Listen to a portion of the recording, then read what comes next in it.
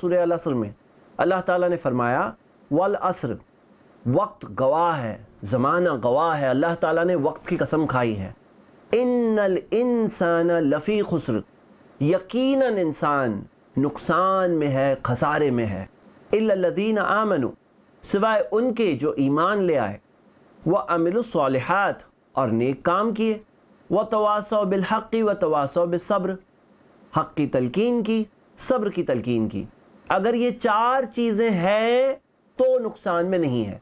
نہیں تو سارے کے سارے انسان نقصان میں ہے خسارے میں ہے برباد ہے انسان۔ جن کے پاس یہ چار چیزیں ہیں، وہی لوگ ہیں جو بچے ہوئے ہیں۔